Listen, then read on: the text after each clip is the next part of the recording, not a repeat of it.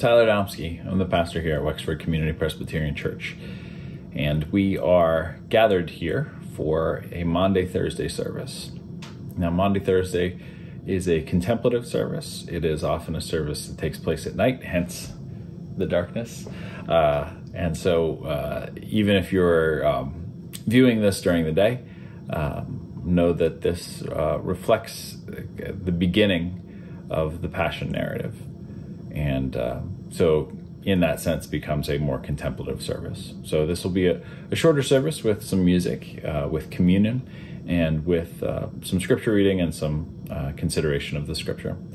Uh, one of the things that we invite uh, as we take communion together is that you would take whatever elements you have around the house that you can use for it. Um, the very use of wine and bread by Jesus is not to do something extravagant or sacramental.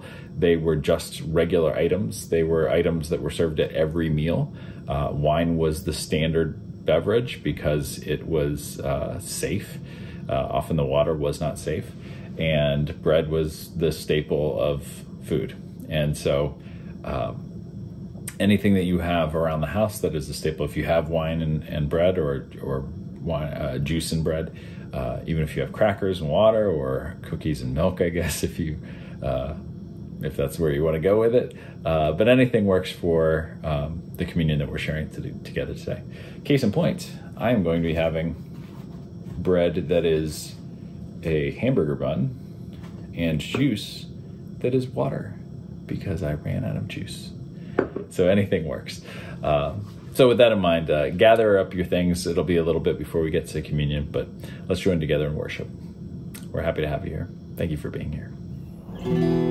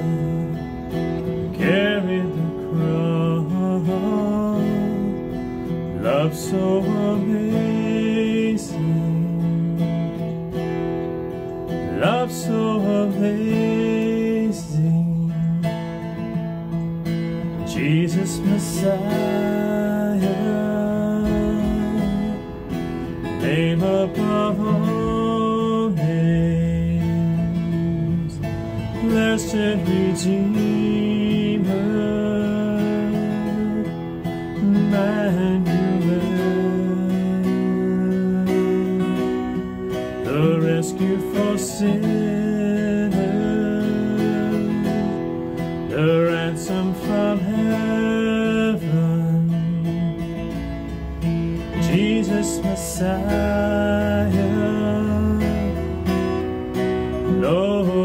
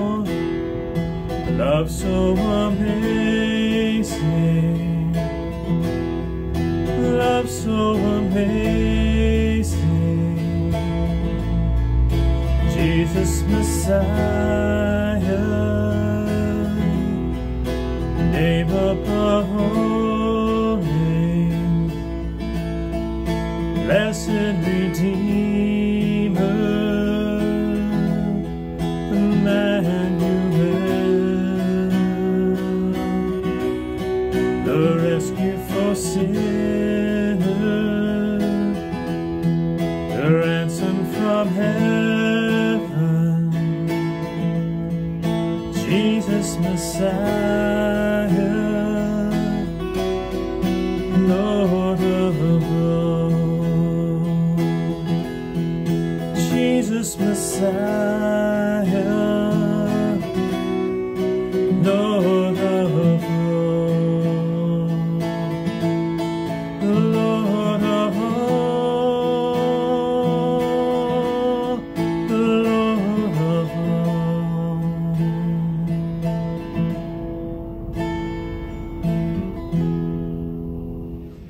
Please pray with me.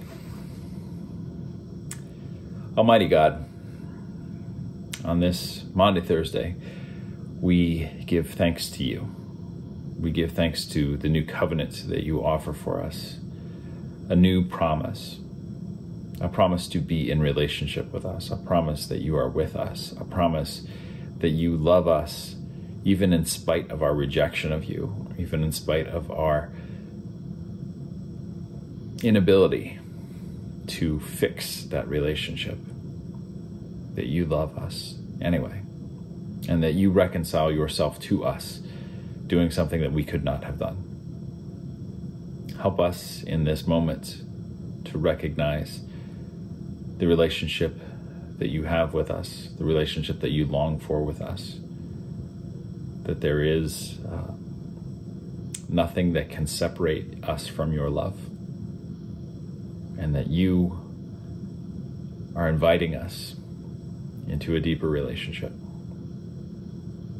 Help us to see that in this moment. Help us to know your grace and your love. In Jesus' name, amen. Our scripture reading tonight comes from the Gospel of Mark. Uh, this is Mark's version of the Passover meal, of the um, the First Communion, the Last Supper. So, uh, hear these words from the Gospel of Mark. Uh, first, the, to let you know, the the Passover meal um, is a meal that is told often uh, the Seder meal, which is um, a more contemporary understanding of it. Uh, the Seder meal is, is told with food to tell the story.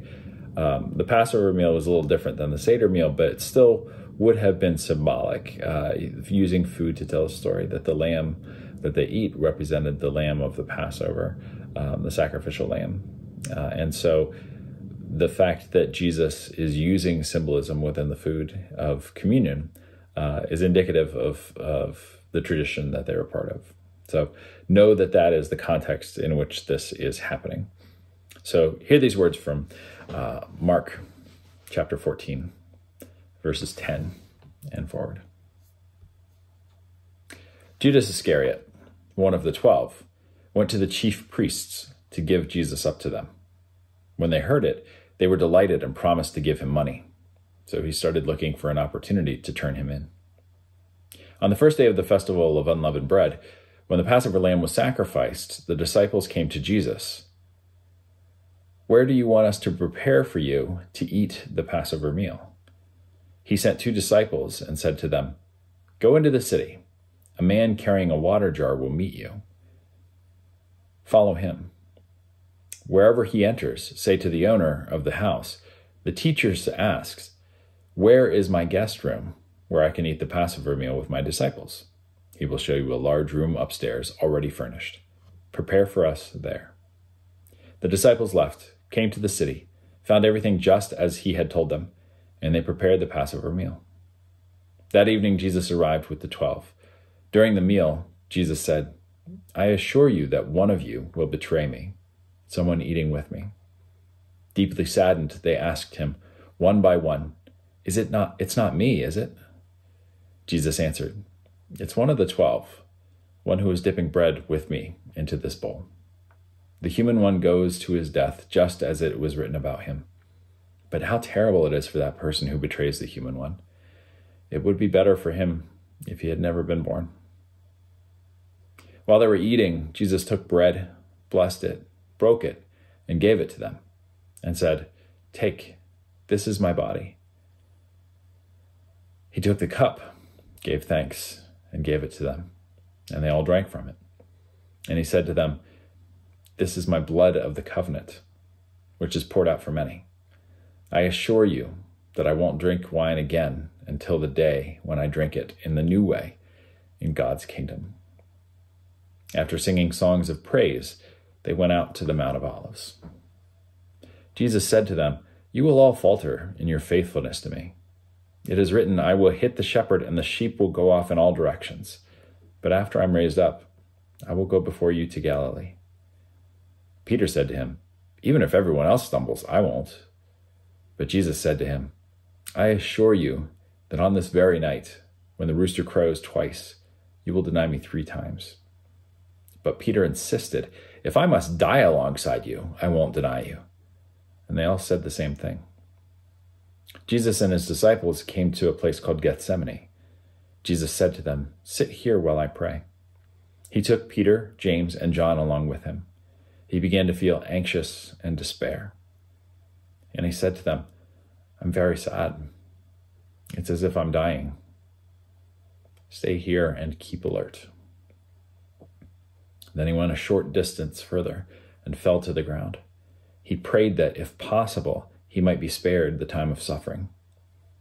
He said, Abba, Father, for you all things are possible. Take this cup of suffering away from me. However, not what I want, but what you want. He came and found them sleeping. He said to Peter, Simon, are you asleep? Couldn't you stay alert for one hour? Stay alert and pray so that you won't give in to temptation. The spirit is eager, but the flesh is weak. Again, he left them and prayed, repeating the same words. And again, when he came back, he found them sleeping, for they couldn't keep their eyes open, and they didn't know how to respond to him. He came a third time and said to them, Will you sleep and rest all night? That's enough. The time has come for the human one to be betrayed into the hands of sinners. Get up. Let's go. Look, here comes the betrayer. This is the word of the Lord. Thanks be to God.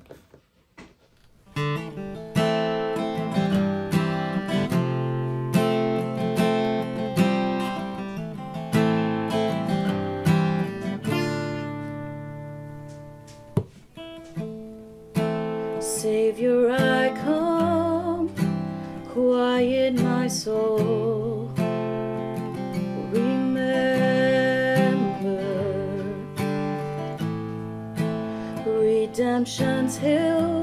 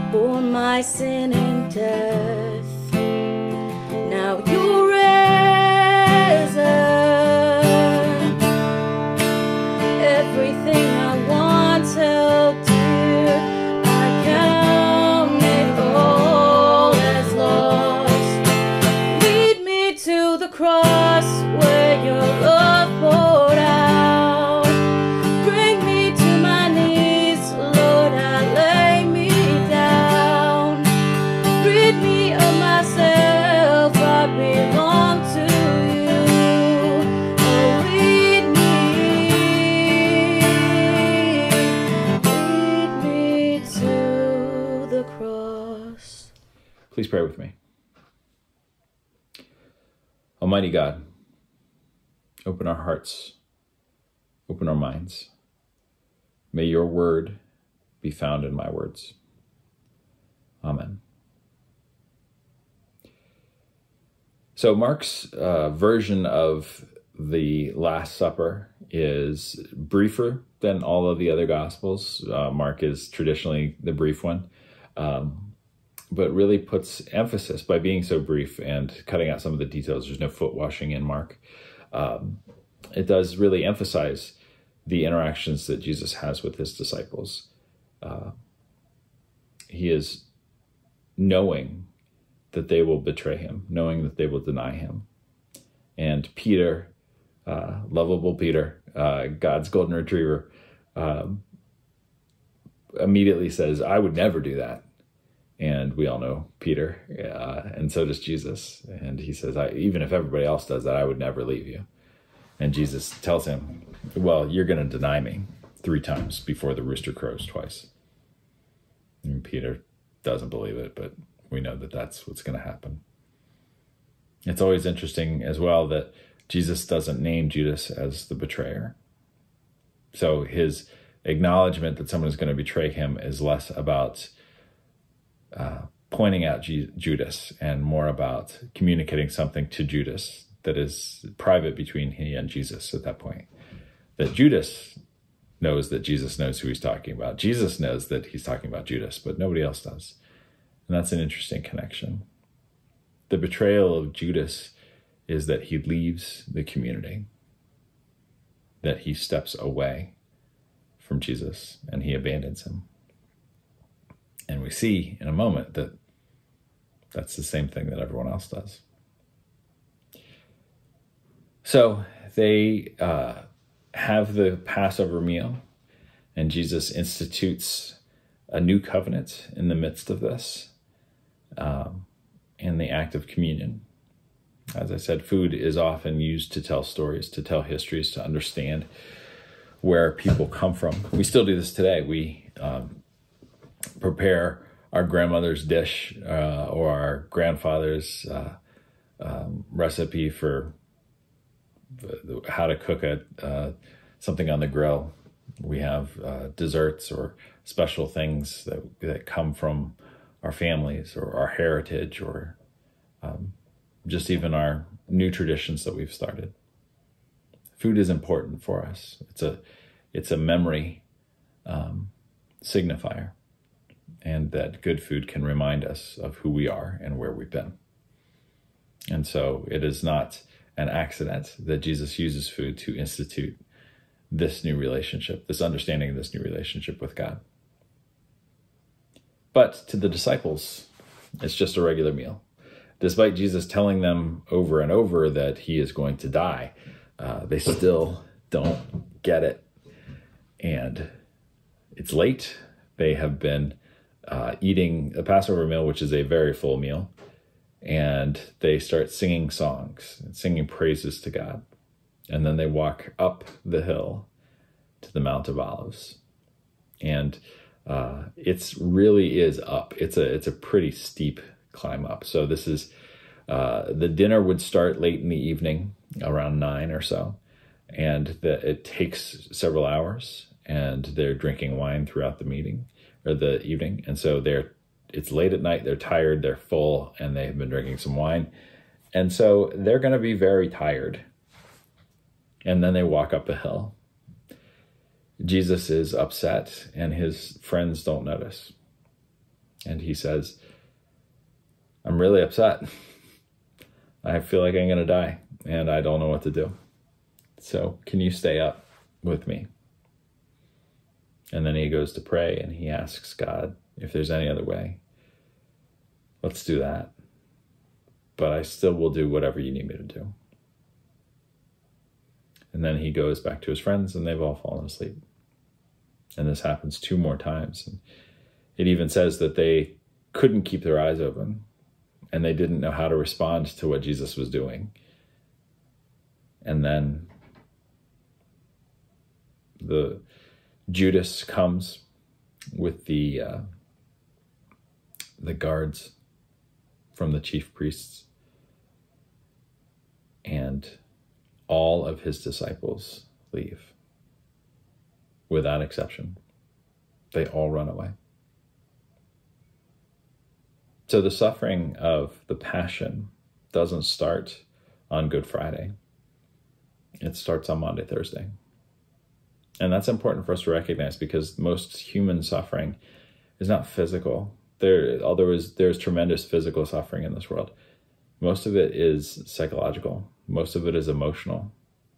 Most of it is anxiety and despair and abandonment. that Jesus is experiencing the most human of experiences of uncertainty, of not knowing what is going to happen, of anxiety, of not wanting to do it, and of abandonment, of asking for help and having friends who do not understand and then run away. This is a fear that I think most of us have at, at our heart.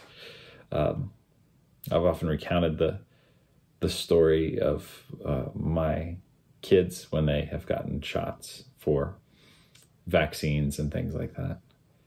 That um, one of my kids in particular really does not like shots, and it gets to the point where it's overwhelming and um, really struggles with getting the shot. But the problem is not the shot itself. The problem is the anxiety that leads to the shot.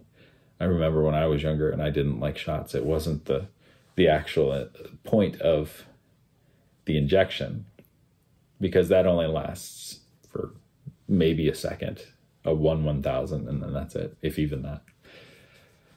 The anxiety comes from knowing that that pain is going to come, knowing that it will not feel good, and that anxiety can last for minutes, for hours, maybe for days if you if you dislike it enough. I know that um, when my kids are upset about it, that they are upset about it going when they see the doctors come on the doctor's appointment come on the calendar. And that is the heart of human suffering is not the actual pain, it's the fear of the pain. It's, it's not the actual uh, rejection so much as it's the fear of rejection.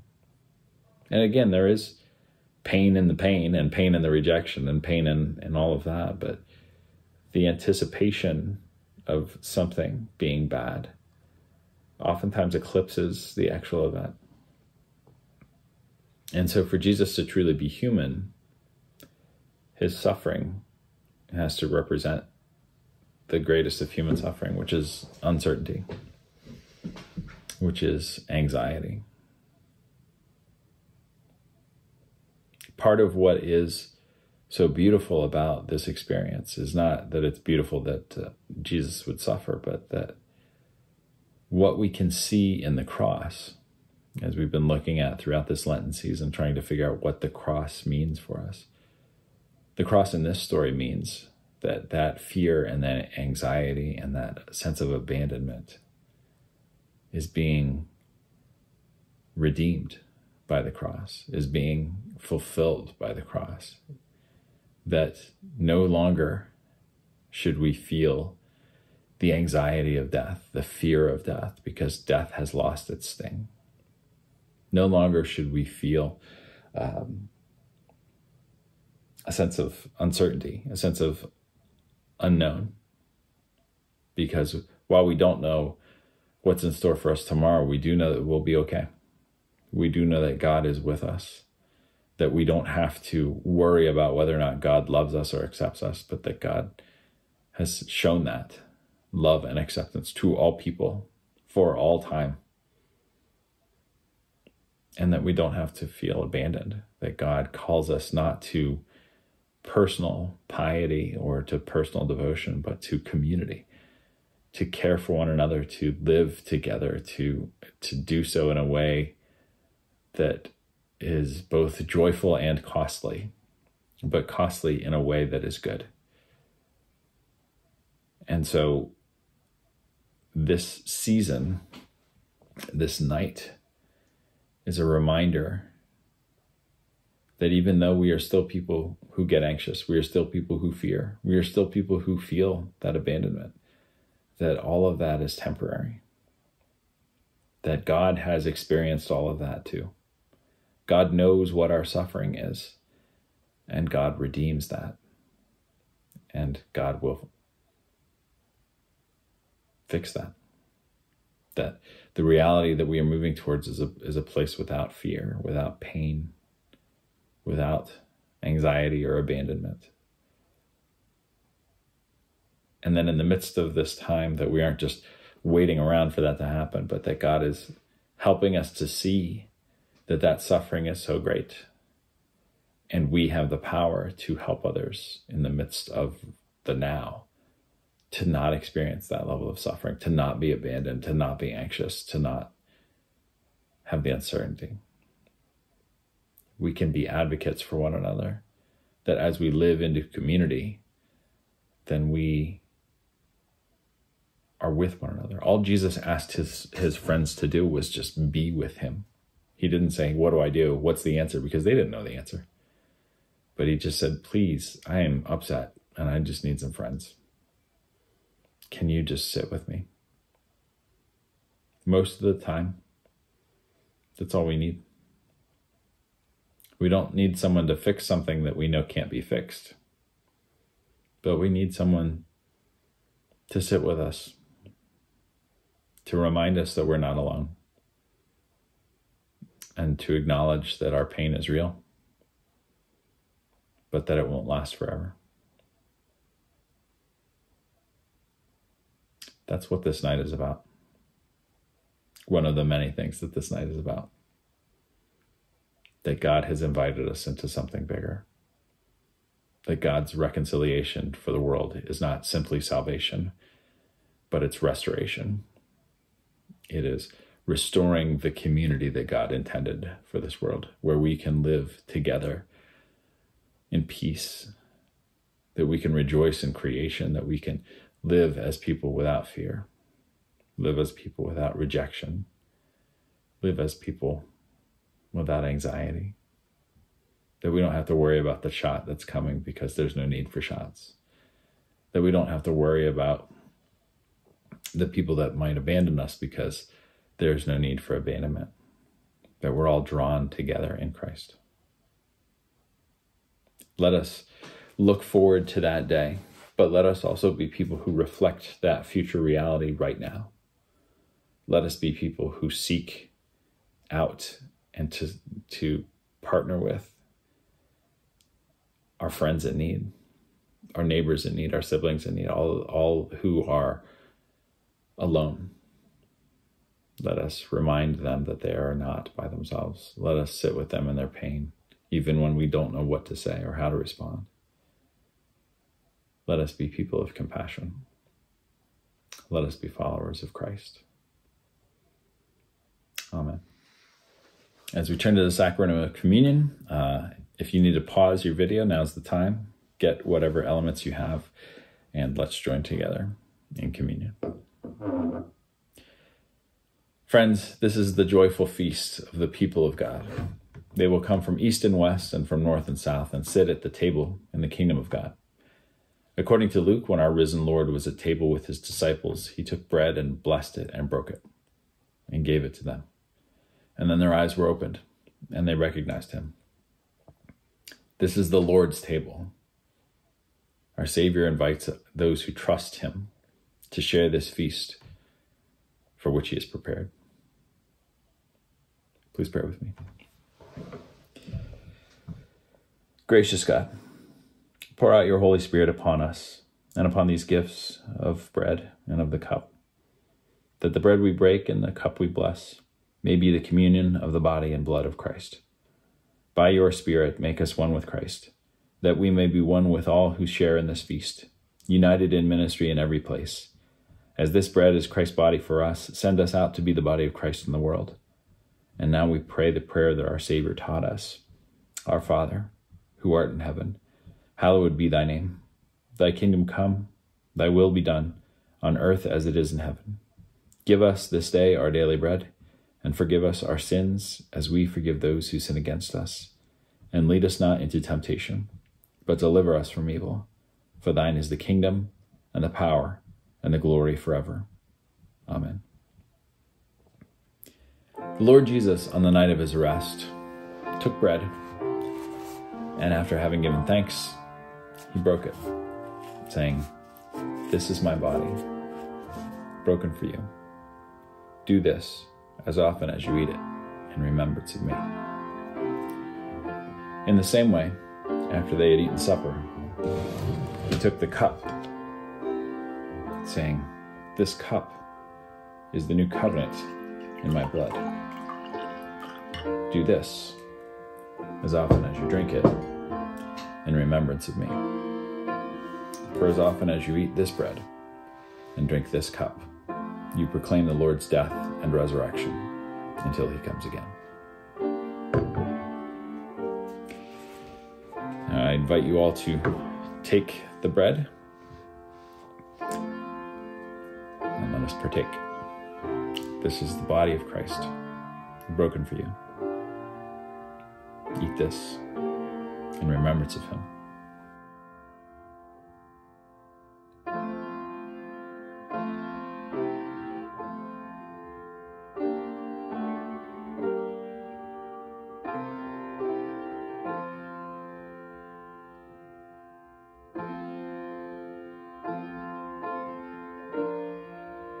Again with the cup. This cup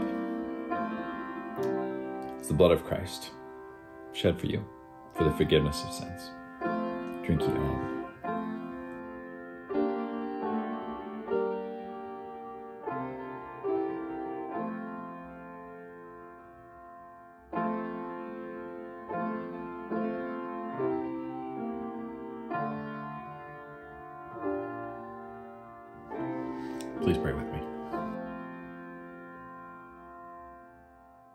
It is truly right and our greatest joy to give you thanks and praise, O Lord our God, creator and ruler of the universe.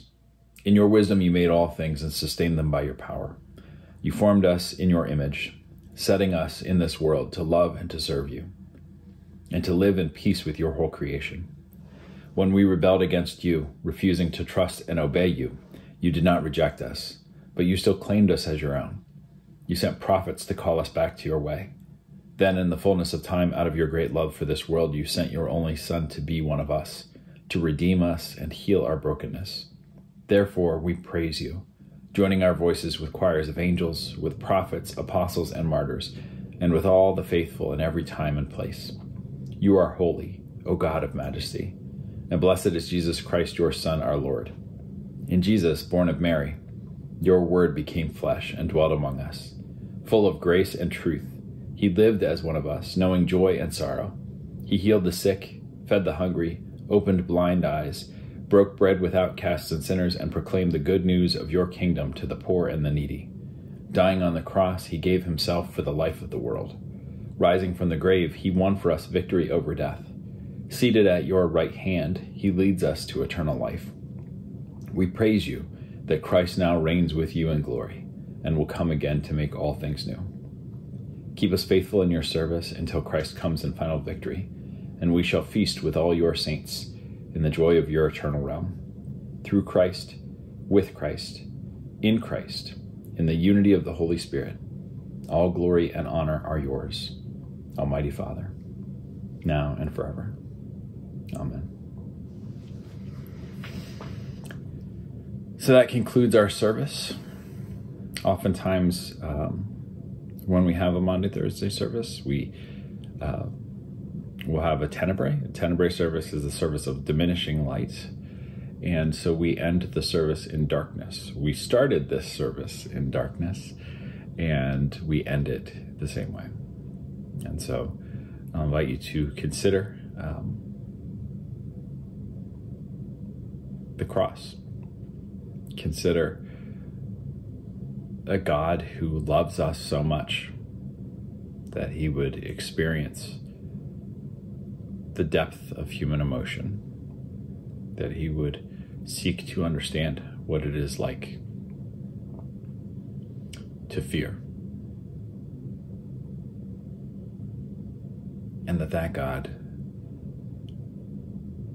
heals us of that and draws us into community that we might not be alone and not fear the unknown because there is nothing that can harm us because God is with us.